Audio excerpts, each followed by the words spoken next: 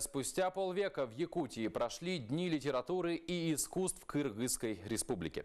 Последняя такая встреча проходила летом 1966 года. И вот в этом году кыргызская делегация прибыла в Якутию по приглашению правительства республики. Встречу братских народов приурочили к 120-летию со дня рождения Максима Амосова. Его вклад в развитие государственности Якутии неоценим. Вместе с тем он внес свою лепту и в становление государственности Кыргызской республики. И как было сказано, спустя полвека братские народы вновь встретились. За эту неделю в столице республики презентовали книги с произведениями кыргызских писателей и поэтов, переведенными на русский и на якутский язык.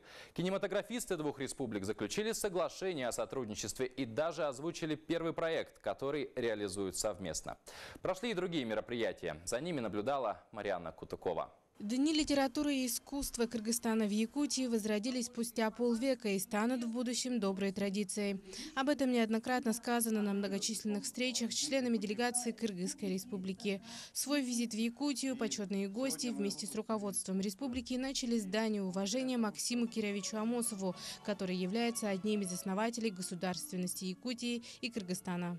Он приложил немало усилий для выдвижения молодых местных кыргызских кадров на руководящие партийные, хозяйственные и другие должности.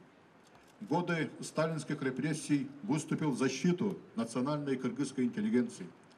И народ Кыргызстана это помнит и чтит. Он э, работал совсем недолго, меньше года, но тем не менее остался в истории нашей страны как один из тех, кто возглавил э, э, новое кыргызское государство.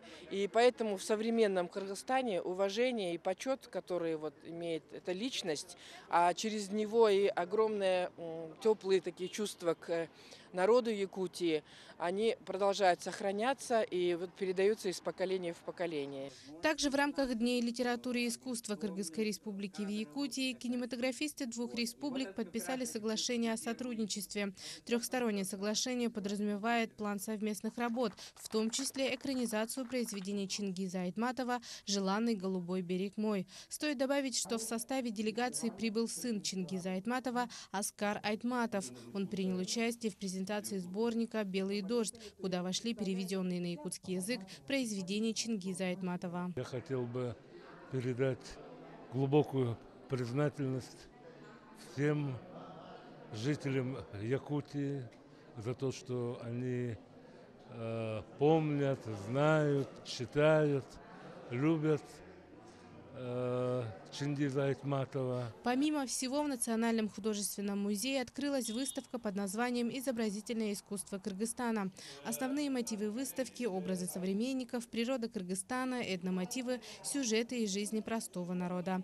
Увидеть работы кыргызских художников можно до 2 июля. Следующим пунктом работы кыргызской делегации стало торжественное открытие памятника Максиму Кировичу Амосову на его родине в Намском районе.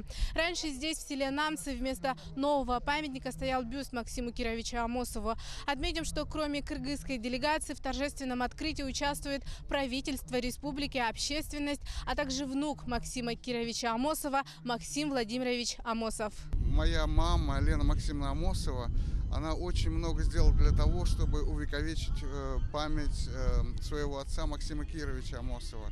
И, конечно, она очень хотела приехать посмотреть на открытие памятника, но вот состояние здоровья не позволило, и она передает всем якутянам огромный привет. Для нее это огромная радость, это событие. Для меня тоже. Вот я здесь уже не первый раз, э, но вот э, бываю очень редко. Побывать на родине одного из отцов-основателей, познакомиться с его родными и земляками, принимать участие в открытии его памятника – большая честь, признались члены кыргызской делегации.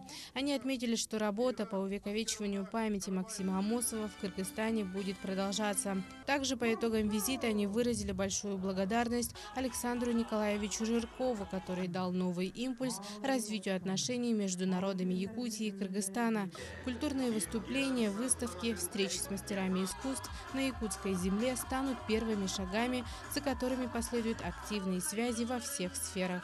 Марьяна Кутукова, Владимир Павлов, Владимир Таюрский, Максим Ростовцев, Андрей Секритов, Якутск-Намский район, Якутия день за днем.